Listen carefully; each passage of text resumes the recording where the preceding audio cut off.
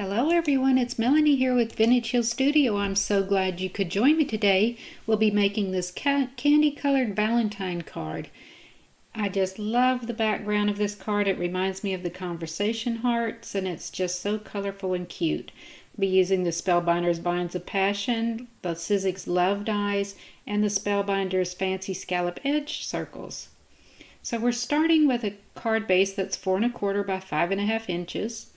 I'll add a yellow mat that's four by five and a quarter inches and this hearts mat that's three and three quarters by five. Get that all adhered down, that'd be our card base. Then from the outline of that vine die, I have the light purple and then this darker purple with the scroll work. As you can see, I'm using my paper piercer here to get these little details out of this heart.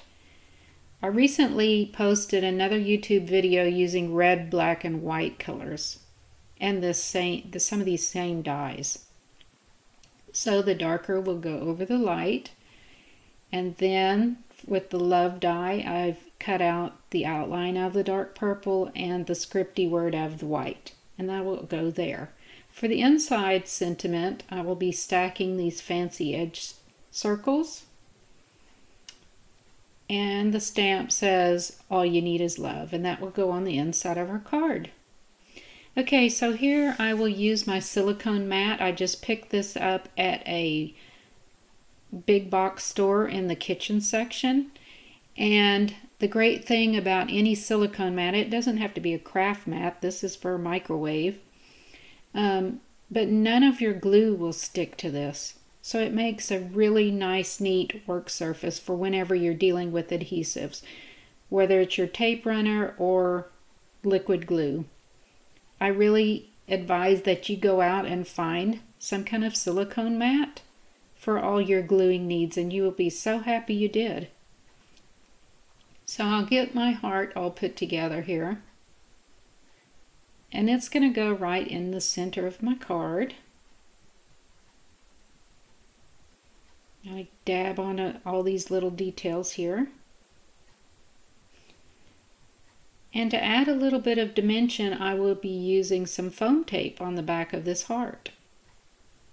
I've already got that done to save a little time here. So I will just peel off the backing from that foam tape and get that adhered down at the center of my card. And this foam tape is not very heavy. So when you adhere it to your card for just a little bit of dimension, it's not going to affect going through the mail. In fact, this works very well when it gets shipped out through the mail. Okay, I'll get this love adhered to the front of my card and move on to the inside. So simple, but so cute. So there's a little candy colored Valentine card. You can see how quickly this goes together inside and outside. So you should give it a try.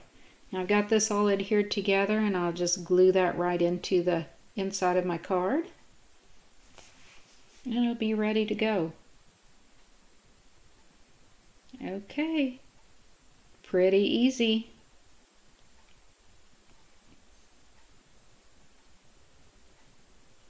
Now our card is finished.